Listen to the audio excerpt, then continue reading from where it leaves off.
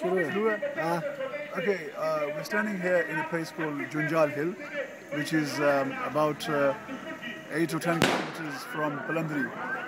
This uh, was pretty much the scene where, on the 24th of October 1947, a uh, provisional, or if you like, um, uh, um, a so called Republican Azad Free government was announced under the presidency of Sardar Ibrahim Khan.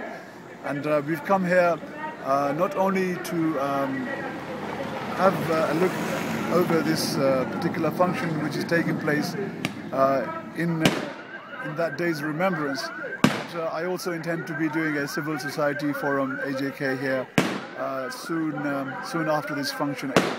Thank you very much.